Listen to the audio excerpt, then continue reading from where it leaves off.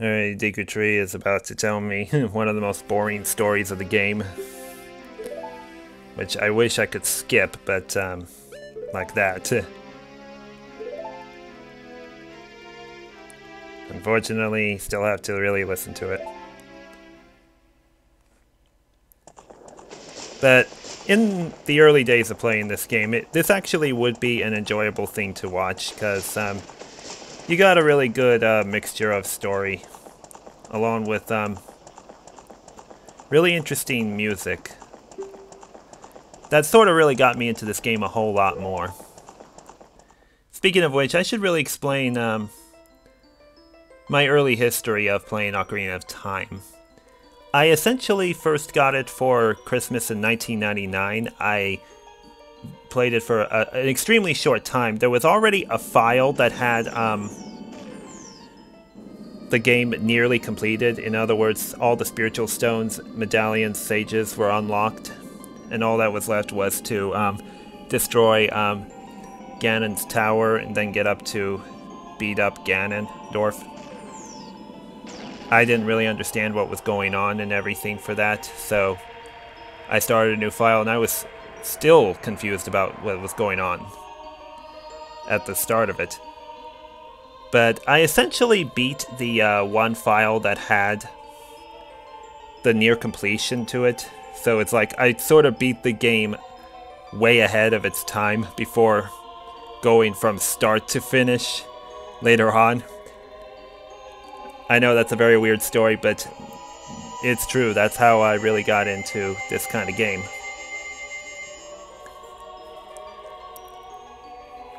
But the more I got into um, the music and the gameplay for all this, it just gave me a, a much bigger appreciation for the Zelda series in general. Now, I don't really own every single Zelda game or have even played every single one because um, there are certain games in the series that I just don't have that much interest in for their um, like story or even puzzles. I, I tend to keep my um, interests for the amount of games there are to a low to medium interest so that I don't get overwhelmed with um, way too many of uh, one. Um, kind of lost focus there for a moment. But I bet you get my drift anyway.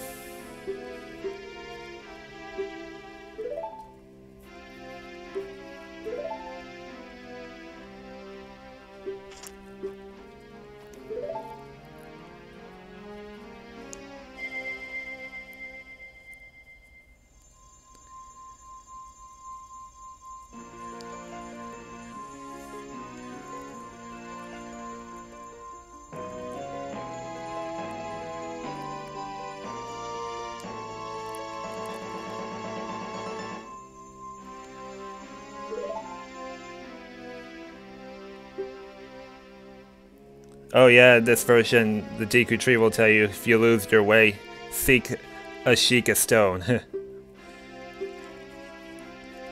yeah, Sheikah Stone actually appeared near um, Link's treehouse. But I essentially won't be really needing to use that since I already know where to go for a lot of these kinds of things.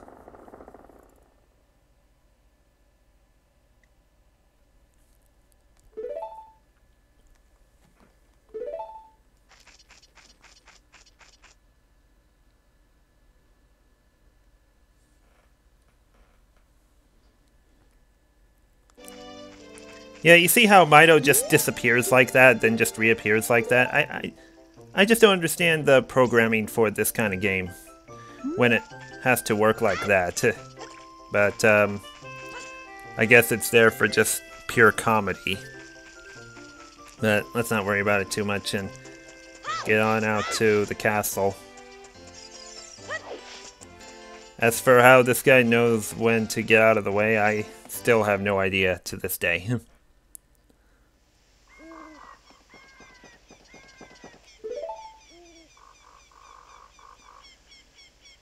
And yep, Saria here is about to give me one of the most useful items of the game.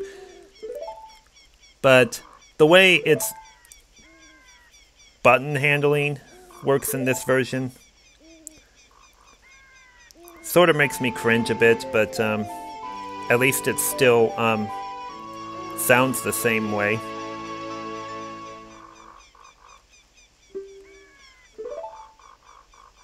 We'll be using it a little bit later on.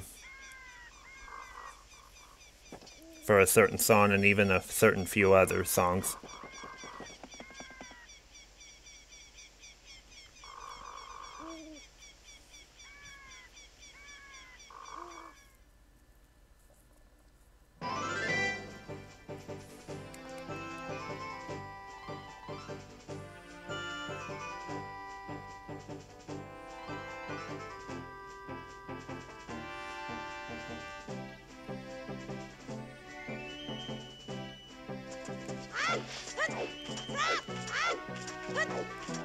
Oh yeah, the infamous Kaepora Gaebora gets in my way.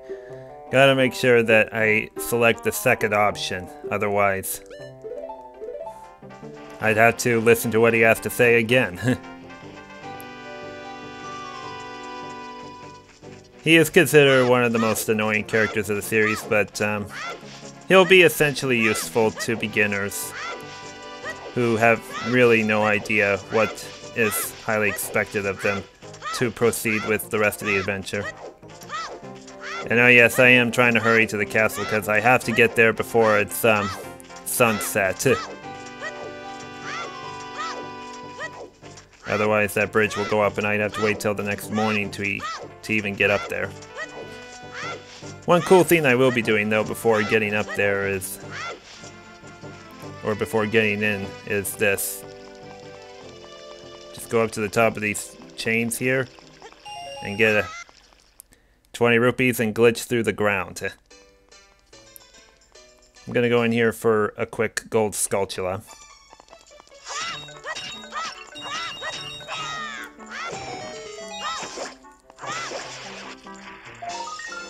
No, yeah, I, I wonder if this guy still says this one kind of thing. Breaking some jars. Stand near a jar and press A to lift it. Press A again to toss it. You know, sir, I prefer to do this. Don't you think that's a lot better than just picking them up and tossing them? Seriously, don't you?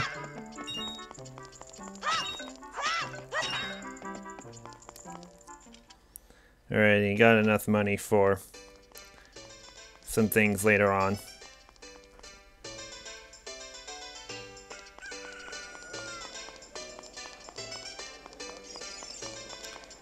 Not really going to have to go through the market a lot, but got to go through here once and then. You know what, let's get uh, Trigger Kaepora Gaebora's cutscene really quick. And yeah, he has his head upside down if you couldn't tell.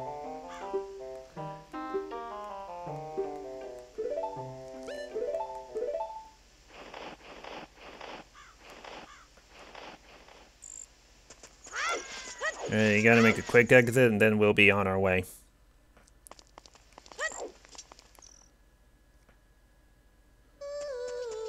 Yep, there's the sound we wanted to hear. Oh, I guess I gotta talk to her one more time.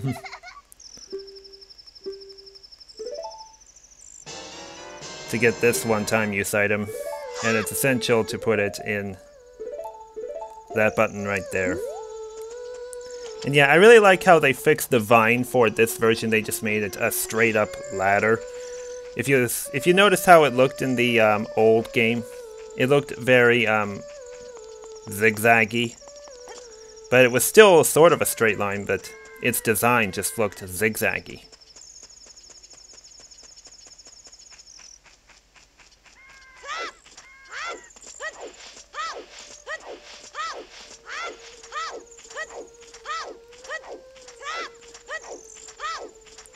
Say, can I make it to Malon's dad before the crack of dawn? We'll see.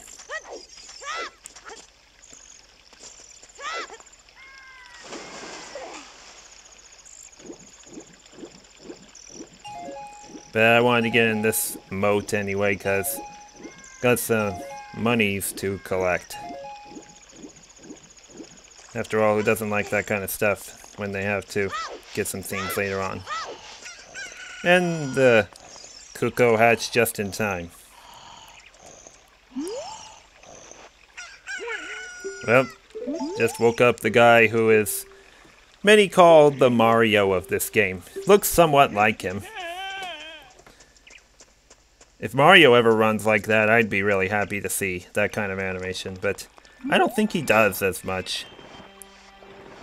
I think he does make uh, some weird runs in Mario 64, but I don't know what else there would be.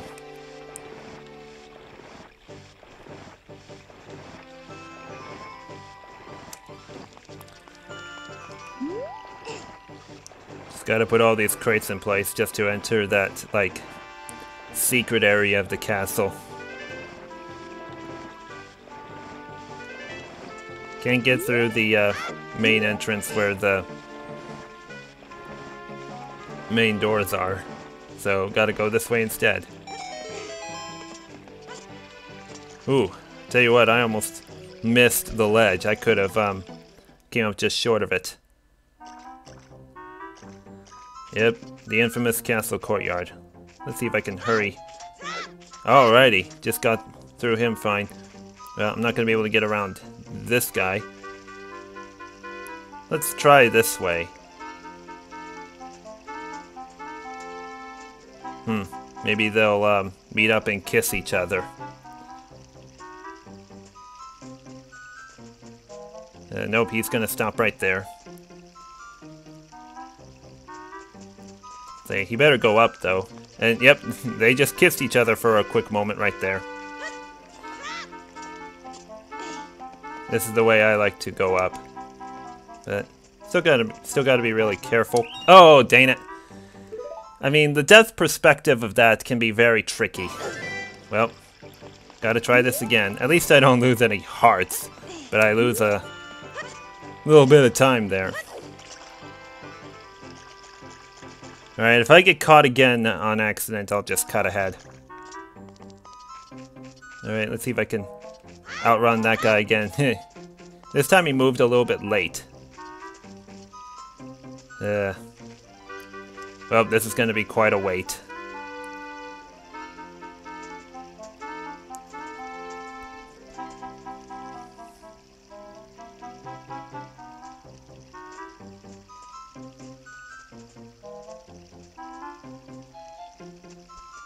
Like, hurry up, you fool.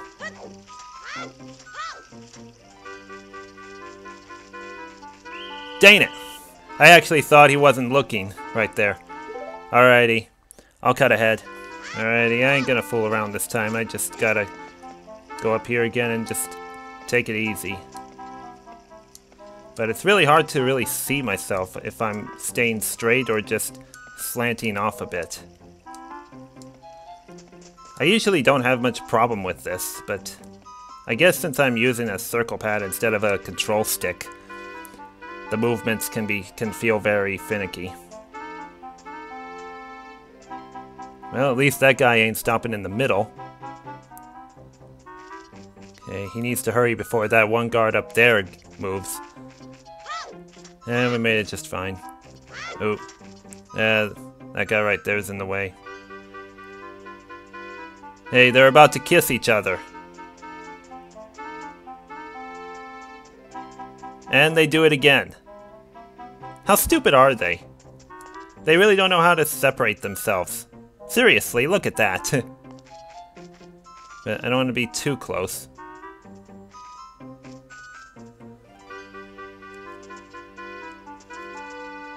Uh, like, that guy needs to hurry up. Eh, He's still standing at the midway point. It's don't think it's that safe to move.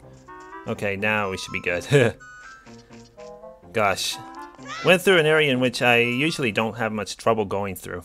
But, whatever. Anyways, one thing I want to look at over here is... In the N64 version, you may notice that there's like an Easter egg of like the Mario 64 promo picture and even some other characters for it. That one over there looks sort of like um, the layout of Super Mario 3D Land. But this game came out before Mario 3D Land, so I, I don't know what to say. It was still in the planning process, maybe, but time to talk to the Princess of Destiny.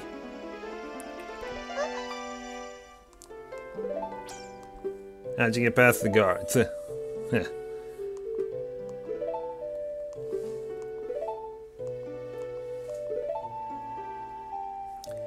I don't have it, actually.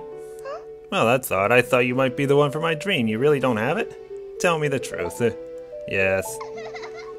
I decided to just be a little, um... interesting and choose the somewhat less reliable option.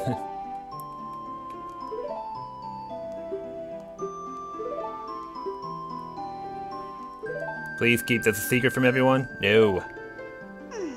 Come on, don't be a blabbermouth. Fine.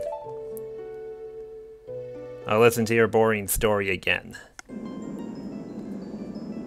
So, yep, we get this sort of cutscene again, explaining everything here.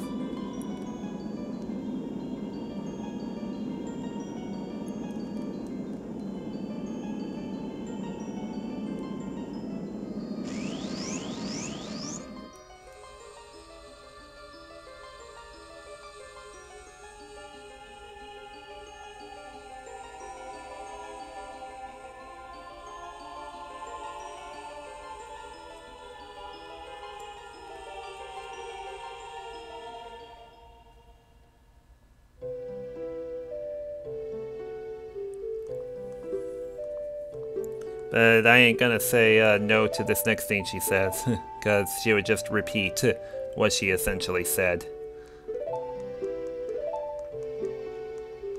However, one more time here. No. Please, if you don't hurry, he'll be gone. Princess, I already know who he is, so I don't need to look at him.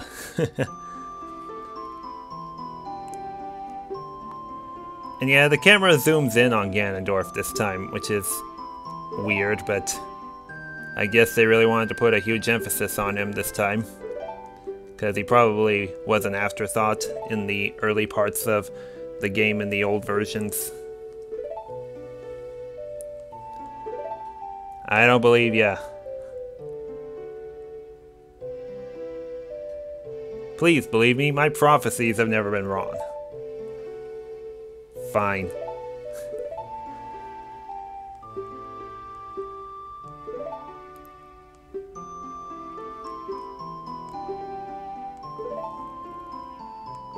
Alrighty, the letter.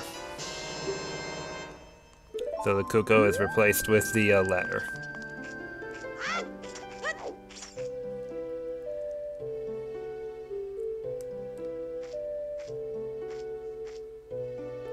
And yep, this would be Impa. The way Impa looks in this game, I kept thinking, is this really who Impa is? I, I didn't even know Impa was um I don't know, I just lost my train of thought. well, let's just go ahead and play the song.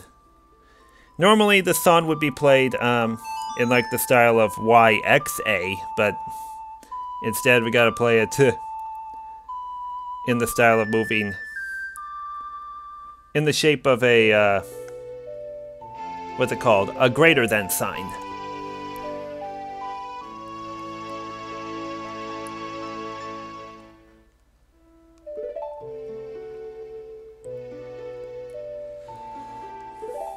Yeah, go ahead and lead me out of the castle. I need it.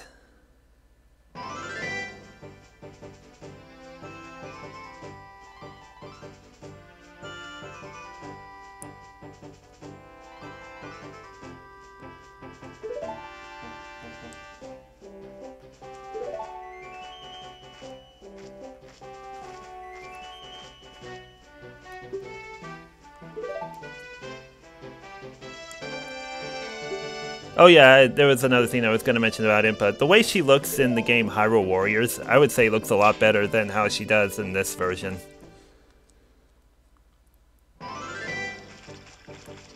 And especially since she has a lot more action to her name.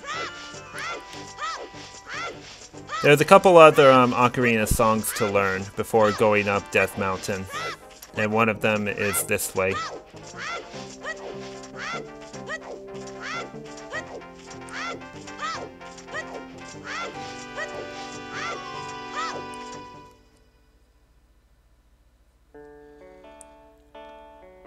Good old Lon Lon Ranch.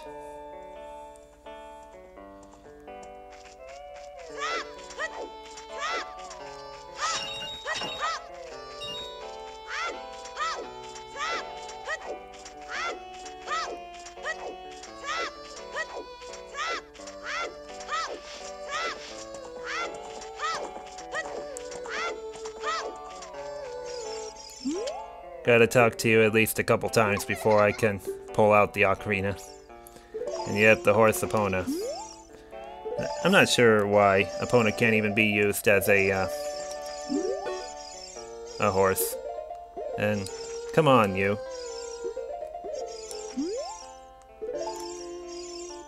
Okay, there we go. I was waiting for that to uh, come up. And yeah, this song sort of feels like playing the Ocarina song.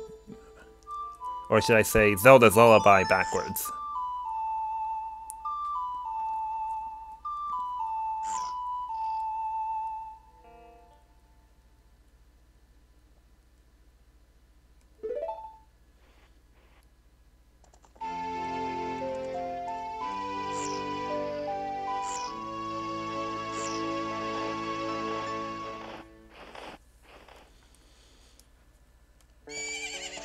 Alrighty. I'll see you when I grow up. Is that alright with you, Malon? I'll bet it is. Same for you, Epona.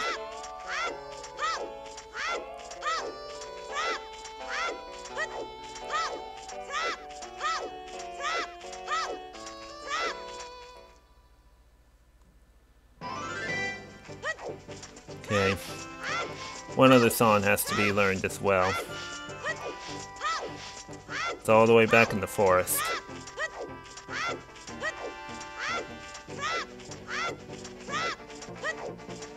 Can't believe I took a huge backtrack like that just to even get through.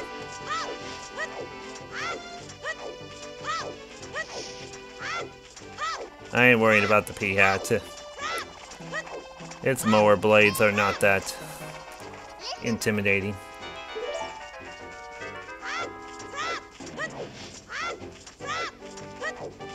Wonder if I could still make it in before the music fades out.